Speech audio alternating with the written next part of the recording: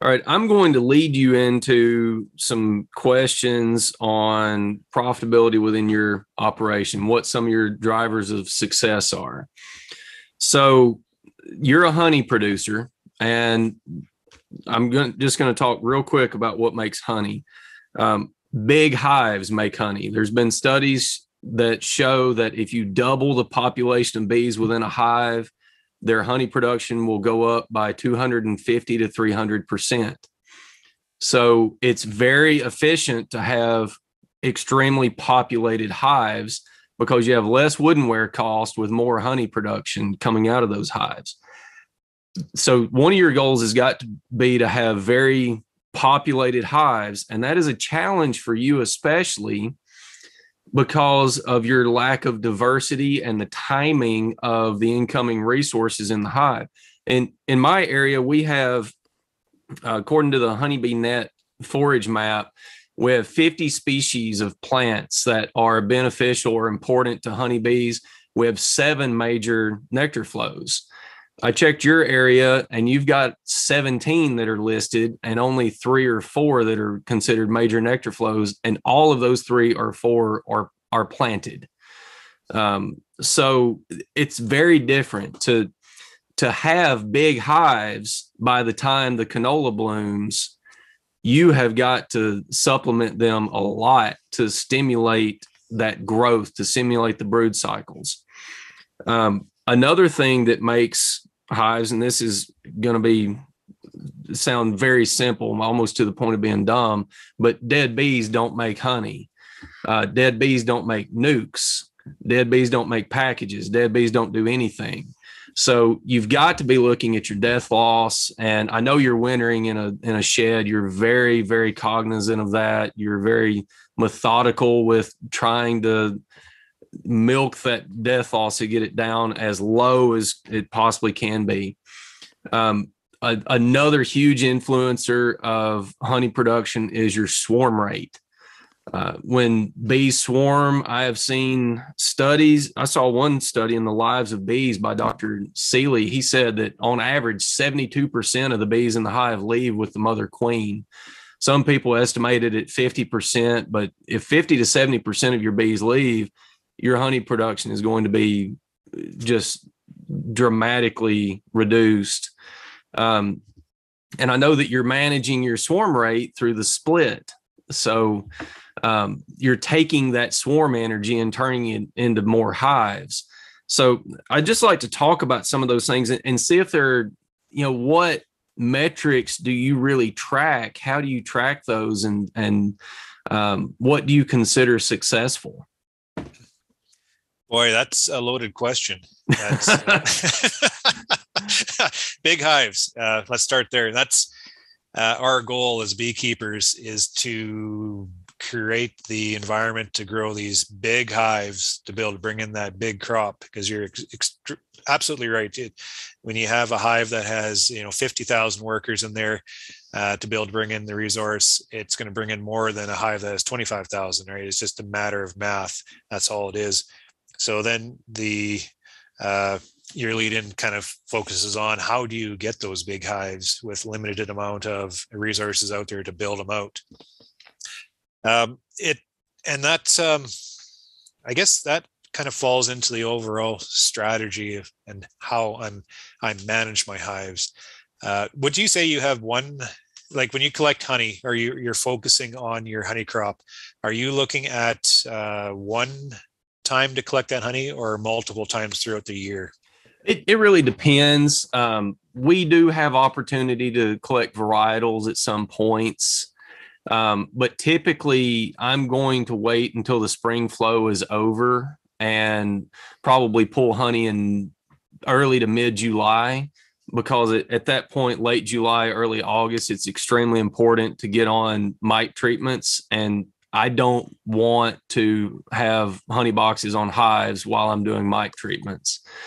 Um, and then we go into a summer dearth where you don't do anything. And some years we can make a little bit of fall honey, but it's usually just enough to um, get the get the hives in good condition for winter. When guys are talking to me about this, they're asking about exactly the question you, you're leading into here. Like, how do you um, manage your hives to extract the maximum amount of revenue from them throughout the spring? And I, I tell them, well, when is the period of time you see the most benefit to able to gather that crop? Uh, for me, you look at what we have going on here, and we have that huge amount of crop that flowers midsummer, just absolutely perfect timing. So, absolutely everything throughout the entire year is focused on that three to four week period throughout the summer. I talked to some guys maybe in BC, their opportunity is a little bit sooner than that, more so in April, May.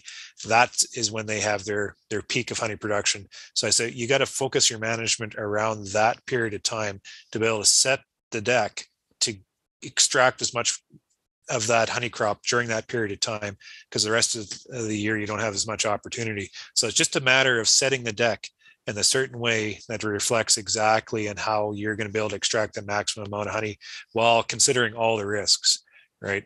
So throughout the spring, and I think the uh, the plant chart might be a little deceiving on the less plants, maybe as you uh, explained, but the availability is still there. So mm-hmm. as we come out of winter, we have, if we can manage to find areas of trees and such, we have that spring flow of pollen that comes from uh, the willows and the, the poplars and and the maples and all that. So we're able to get that springtime flow, and then it follows into dandelions, and then we fall into clovers, and then alfalfa as we kind of go with a bunch of other fruit trees around the edges. So there is a steady flow of pollen flowing at all times. It's just maybe not as available in other places as much as it is in, in certain places. So you know, one of the strategy strategies our farm has is we have availability of a lot of those early growing plants like the trees and the shrubs and and then the weeds and all that so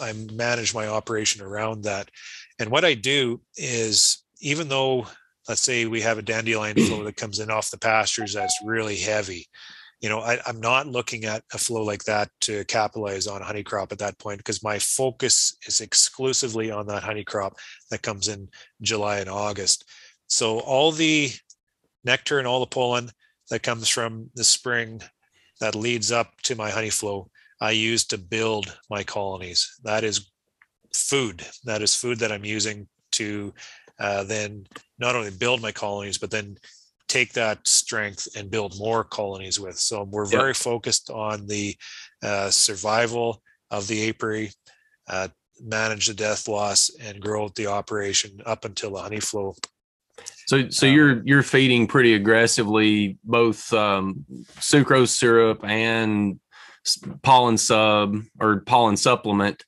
in the spring. Yeah. Um, what ratio sucrose syrup do you like to feed? Are you feeding one to one or something thinner? Yeah, we're making sure that these colonies have that steady flow of sugars into the colonies at all times, and we're always reading that nest, whether or not that west is nest is wet just by the available amount of sugar around that brood nest. So we're always watching, and as soon as we notice that that rim of syrup around that brood nest is starting to dry up a little bit because maybe the flows mm-hmm. uh, are changing or they're falling into dearth or weather. We have a terrible amount of weather variability up here. Will be yeah. 25 degrees one week, and the next week will be, you know, two degrees and snow. So it's just like, how do you manage that? And we do that exactly as you say with supplements. So my primary primary focus with sugars is just to make sure they have sugar within their colony. Uh, so I feed them a two to one because it's much easier to uh, uh, manage a heavier sugar. It doesn't ferment as quickly on you and such like that. Yeah. But if um, if I want to kind of spark them up, uh, just flash syrup at them in open feeders. I might dilute the sugar just a little bit, knowing that they're going to take it up within a the day or maybe two days just to get it in because the main thing is just to get that spark of sugar into the colony and just hmm. to make sure we maintain that uh, that syrup around or not the syrup but that sugar open sugar around the yeah. at all times we're not feeding to bulk them up we're just continually feeding them a little bit flashes of syrup just to keep them going spark them up so we don't actually feed a lot of sugar to them we more so put a lot of effort into feeding the sugar to them. yeah. if that makes any sense. You, yeah. you so want to get just so, enough, just enough at just the right times. Yeah. It's kind of like a fire and you have a cup full of gas. if you put that whole cup on the the fire, just flashes back at you and hurts you. But if you just take a little bit and just kind of throw it on the fire like this and just keep, keep that flare going and you can maintain that flame a lot more effectively. So that's what we try to do with the sugar. And the thing with uh, the protein we put on our colonies is we have the advantage that we don't have small hive beetle. Um, I imagine yeah. you have small hive beetle down oh, there. So we, we can manage our uh, protein feeding uh, a lot looser than maybe you will have these rules you'll have to follow and you put that supplement on top. But I always have a pound of patty on top of my colonies all, all times throughout the spring just to provide them that uh, resource to dig into if they need to. Uh, we'll have a week of cold, snowy weather drop on us within like a day and a half's notice. That you, the weatherman can't find it, uh, can't seem to figure it out. We don't know it's coming. They don't know it's coming. And all of a sudden, bam, it's coming, and I can't get around my entire apiary in a day and a half to make sure they have that protein to sustain their development. Because yeah. these bees, I'm telling you, with the amount of like we do have a lot of pollen and nectar coming in, and then the maples come out, they start uh, packing their brood nest and and in a way it, bounds them up a little bit. So we do have that inflow, but those bees they build their nest lock and step to that flow of pollen coming in, and they will at times be developing that nest out hand to mouth. You like guys, you have this like three frames of developed brood, open brood going on that nest, very little resource of pollen on the outside, and just streams of it coming in. And like, ooh, if that flow of pollen stops, all that open brood is going to starve. And you know what they do is yeah. they cannibalize it. So we recognize that nature where they're just, you know, igniting the growth of that nest. They're making time. Uh, and if we see a dearth coming, we make sure they can maintain that momentum. Otherwise, they're going to fall backwards. Yeah. So that's a huge, huge uh, management practice we have adopt up here is when these bees they come out of winter, their accelerated growth, we just make sure that they maintain it and then we can build these massive nests through a short period of time in the spring. So we've talked a little bit about death loss, and I know that your winter shed's a big part of that. Um, people, I think, can see that on your channel. Um, the swarm rate. Do you have any idea how many of your hives swarm every year? It's uh, hard to not. it's hard to it's hard to know that but uh, I know that I, you agree. You aggressively, like you have got one of the most management intensive beekeeping operations that I've seen, because you aggressively equalize. Um, it's like you've got one foot on the gas all the time, trying to get these hives to grow and be ready for for the canola bloom they've got to be big, they've got to be huge, but you don't want them to swarm. So you've got one foot on the gas, and then you want to pull the rug out from under them right before they swarm and split them yeah. and make make more colonies. Um, so you, I mean, you're like walking a tightrope in, in your operation, trying to balance all this stuff, and it'd be pretty easy to fall off the edge one way or the other. Um, so yeah, I one, really, one I really enjoy. The, one foot on the gas, one foot on the brake. Yeah. It burns out your clutch, and I'm the clutch, right? but that's exactly right. Uh, don't mean to interrupt you, but uh, to produce big hives uh, in the way we are, and we're using Carniolan type uh, stock, which is more prone to swarming than other stock, you'd argue. But you know, we're trying to manage these massive hives uh, with a swarmier type B in a short period of time, um, right through the middle of swarming season. So, and how do you how do you manage a big hive without swarming to be able to grab that big crop of honey? And that is the secret question there, and that's where you see uh, me putting so much attention into uh, managing my colonies to try to promote that you know exponential growth and retained all those bees to make sure they're working for me and it's a hard balance and it's the only way that you'll be able to achieve that is just through experience and just be able to feel that colony and their growth rate. And ah, uh, these guys are going to tip themselves over the edge. Got to pull them back just a little bit.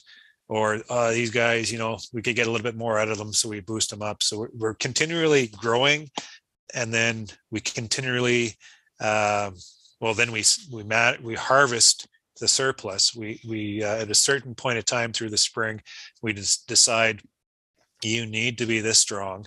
You don't need to be that strong. So we're going to harvest all this extra strength and then build more colonies out of that. And then after we do that, we want to maintain their growth. Uh, we want to promote that growth to, to retain, you know, to make those big hives. But we still don't want them to swarm. So we're, and every colony is a little bit different. You have some queens that really spark her up.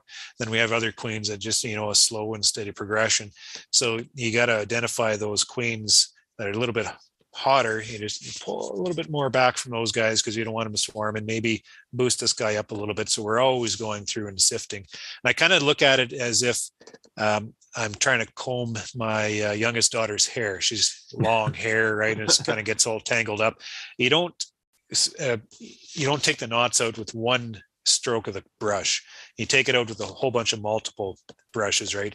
And she's not screaming then and then it overall it's easier for you to straighten that hair out. So same with beekeeping. You just got to approach a situation at uh, with a strategy to achieve that uh, problem a whole bunch of different times all the way through the year.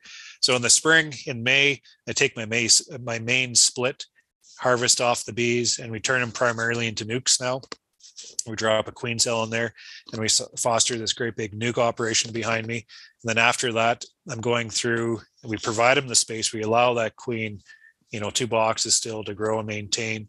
That second box is that honey box now, where she has unlimited space. And we just sift back and forth. So it's really easy work, really. You just go in, you just look at the girth of the colony and you just take down the bigger ones and you just boost up the smaller ones. So it's really easy work. You shake the bees off the frame. So it's just a matter of shifting back and forth brood. And then as soon as, you know, everything just seems to line up all nice and perfect, we get the solstice, which is that magical time in the world where, you know, nature shifts gears. It's a really yeah. weird thing, but bees are very responsive to that point of time. So that passes and then all of a sudden the whole countryside comes to life with flowers and growth and prosperity. And it kind of redirects the bees attention from that swarmy reproductive spirit to that okay here's our opportunity to gather and hoard and get ready for winter. So we take advantage of that spirit shift and uh, we confine them and we send them straight into the flow. And hopefully we've done our job properly so it's these hives within the next three weeks after that all this brood emerges and they just explode into growth. And i have hives that'll fill boxes you know as far as you can reach just because they're so busy and there's so many bees in there and it's just an amazing thing. So yeah it's a awesome. continual balance around that. But the other the other thing that we focus on and this is you know you look at the whole uh, management strategy I employ in nutrition and disease control. Uh, we have the swarm management, you know, where we're managing the growth of the colonies very intensively. The the other very important aspect is this whole thing is um, attrition of our operation. How do you, as a beekeeper, manage that continual attrition, not just through the winter, but through the entire year? Like we'll come out of winter with, let's say, 10% uh, winter loss the bees aren't done dying yet. Yeah. They'll die through the spring, they'll die through the summer, they'll die through the fall. So we got to be able to manage that continual attrition. So we have another 5%, let's say in the in the spring, and let's say we have a, a tough summer, another 10% there, and we drift into fall and we recognize another 5% there. So what is that 10, 20, 30? So that's an overall 30% a loss of colonies within that full cycle. And if you have a bad year, that could very easily be 50% loss within that time frame. And beekeepers are like oh that's terrible. You know this is this is pretty rough or hard done by but that's that's a natural thing. That's what bees naturally do. They they naturally follow a progressive cycle. They live they you know produce reproduce and then die. It's, it's just like every other living thing on the planet. We need to be able to recognize that as beekeepers and then manage that. So i don't take losses as losses. I just kind of embrace losses and manage them. So, and, and the way I do that is uh, continual um, refreshing my stock. So throughout the spring, as these colonies are growing, we manage uh, all this surplus strength and we channel that into nuc production. So we're focusing on creating uh, new units and a whole bunch of new units with fresh queens that we've just developed. We manage these nucs throughout the summer, uh, just kind of maintaining and developing these queens. Our only focus is just maintenance of that colony and developing them into something that'll make winter. At the same time, we're managing them in such a way that we can extract a honey crop off them it covers all their cost. So we're developing this battery of nucs uh, that sits behind us that doesn't cost us anything, just a time and effort. And then what we do is that following year, as we assume these losses, we just start dropping them into all these empty spots. Yeah. So at 10% uh, winter loss, we just fill them instantly with these nucs. And that's a complete refresh of that spot. Throughout the spring, uh, if we can find these hives that are failing and before they die, we take these hives out and we drop them into the nuc operation and requeen them. And that empty spot, we drop a fresh nuc into there. So we're not, you know, it's the curse of the beekeeper. You're looking at your stock and that hive's not doing so well.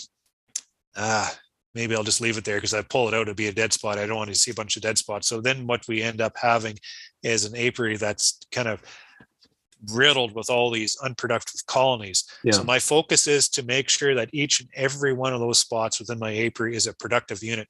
And if it's not up to snuff throughout my assessments, if I notice that they're falling back a little bit, we take it before it dies, we salvage it, and we throw it into the nuke operation, refresh it. But we can do that because we have that nuke, that fresh one, to immediately drop into that spot. And that way we can continually refresh the colony through or the apiary without with throughout the entire year and just maintain its youth and its vigor. Yeah. I don't think any beekeeper will argue that a young colony will be a more productive colony.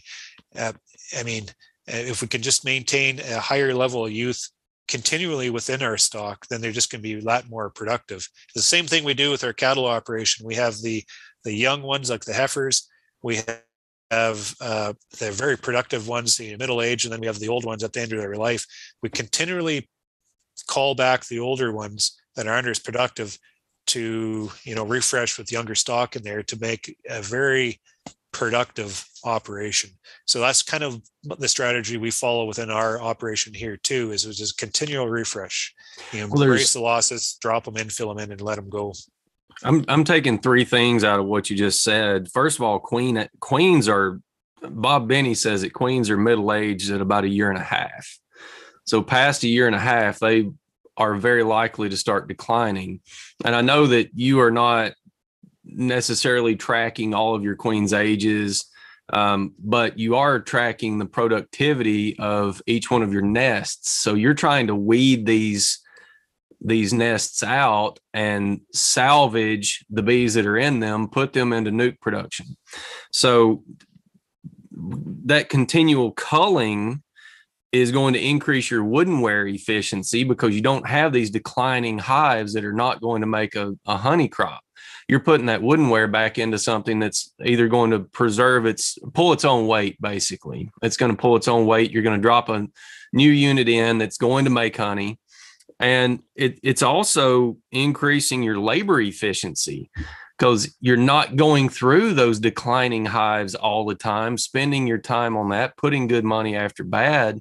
You're not putting pollen sub on them uh, giving them new brood.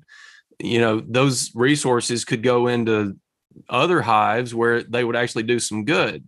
So i see a lot of efficiency in in that type of management strategy yeah, and it's a beautiful thing once you get that cycle going.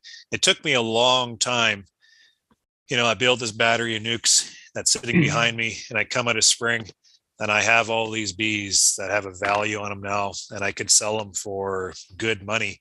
But I and it's hard to then you know take those bees to shift out hives that maybe you're anticipating their failure. So you know, taking that unit and shifting it out, replacing that in a way it translates costing you money but you can't look at it that way. You have to look at their overall cycle and the overall management of the operation and how important cycling this fresh stock back into your operation is to maintain its integrity and viability. And ultimately as you carry that forward year after year you're going to then have surplus stock to the side that you won't need to drop into your operation as as uh, as much and you can then glean a little bit of extra revenue off those extra nukes that you've produced and you know tap into a revenue source there.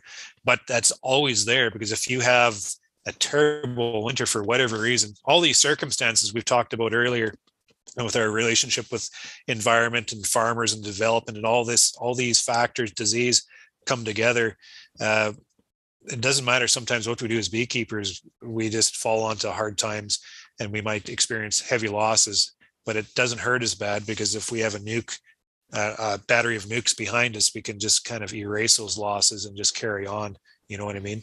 That's a big cost efficiency measure too. You're producing your own queens you're producing your own bees. Uh, you know if you're a commercial guy or looking at it as a business it it's going to be really hard to pencil out buying buying stock except for introducing new um, you know new genetics it's going to be really hard to pencil in buying queens and, and all that stuff. So I, think that's a big cost savings for you. Yeah it's a pillar to my management uh, just maintaining the stock like as, as sustainable within my own operation. And if i need to bring in genetics i'll buy queens. I'm not afraid to bring it in stock I assess them before I breed them. But uh, and if I do fall into a bad year, I will buy in po- packages just to fill in some boxes. But for the most part, I try to keep everything internal and keep my dependence on everybody else very minimal. Because when you're depending on other people for other things, you become dependent on their situations and their yeah. outcomes, which is totally reflective on what we're doing within our own operations. And these bees that we're producing, like you talk about a year and a half uh, lifespan of that queen, which is its most effective i can stretch that out just a little bit further because what, what do i do when i when we create these summertime queens i don't give them a lot of space to maintain that yeah. nest out i i force them into that little box i I, you know, I keep them tight and I restrict that development of that queen. And you think, well, shit, they're going to swarm. But we do it in just a certain time of the year. You know, after the solstice, after the back end of this honey flow up here, these queens have established their nest and they're not thinking about anything other than the winter ahead of them. So they are able to maintain these nice little nests that then drift into winter without, you know, uh, wasting a lot of their potential during that maintenance year of those queens. Get them through winter.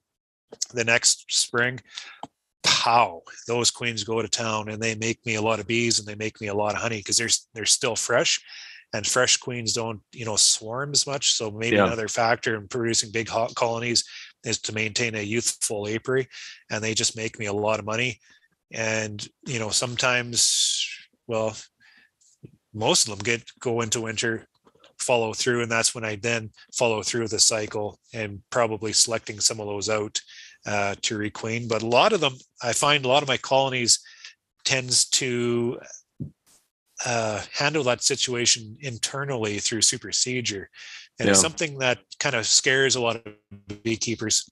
And this is maybe where it sets my type of operation a little bit differently than other types where i'm more of a stationary type. This type of management strategy doesn't really reflect as well on a, a migratory type beekeeper where he needs to know the condition and the youth of the queen at all times of the year. My hives if they have a problem with their queen they'll just switch it out and put a new one in there. You know the ability of my hives being in one place all the time just allows them that opportunity to do such without the risk of losing that colony because you're you're messing around with it with transportation and such. So when I'm going through and I'm uh, selecting my breeders, I'm not necessarily looking for the age of the queen on my tag in that colony. I'm looking for the the amount of time that colony has been able to sustain itself through a number of years yeah. that tells me whatever dynamics are going inside there uh, reflects on their ability to you know switch those queens out continually over the years some of these queens are like or some of these hives are five or six years old i'm looking at the tag and like whoo that's a long time it's not the same queen it's probably multiple queens going on within there but that's what I want to promote is that continual succession internally, have them handle all that work themselves, right? Yeah. If there's other circumstances that fall upon them, if they swarm or if they try superseding themselves, and as they try to reestablish their stock, you know, maybe that queen's not mated properly, or, or maybe some other situation comes in where the queen's inferior, then I can come in, assess that situation, pinch her off, reestablish her, move them forward. So it's all, you know, one great big management strategy that just kind of follows through That's and awesome. it cuts cost. If the beekeeper, as if in regards to profitability and your entire theme of uh, kind of what you wanted to talk to me about, as a beekeeper, we recognize these opportunities of revenue. You know, a whole bunch of different revenues coming in, but at the same time, we have to focus on our costs of operation and chip those away at all times. And just this management strategy going into the nuke production and maintaining my own queens and such, it's uh, completely cut that uh, expense off my ledger. Uh, Queens replacement stock, two very expensive line items there that I've been able to eliminate. In fact, I've been able to add to revenue because I I make those queens and those uh, that replacement stock that we build. I make them generate me revenue through honey production. So it it you know that focus on expenses ultimately provided more profitability to my business.